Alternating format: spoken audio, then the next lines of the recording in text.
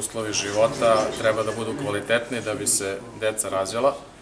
Meni je najlepši završetak prošle godine bio kada sam primio decu koje su se rodile iz vantelesne oplodnje, ali mogu da kažem da je sada početak ove godine vrlo lep, kao što ste videli desetoro beba, deset beba i deset porodilja. Nadam se da će ih tokom godine imati dosta i da će ljudi sa ovog odeljenja, odnosno doktori, lekari, sestre, imati dosta posla u smislu da rađaju bebe pre svega.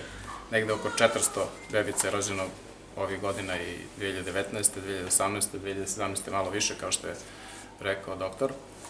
Ja se nadam da će i 2020. biti uspešna. Mi se trudimo i što se tiče pomoći u materijalnom smislu za našu decu, za naše majke i u smislu da stvaramo uslove da deca lepo odrastaju i da se bave sportom i da idu u dobre vrtiće i da idu u dobre škole.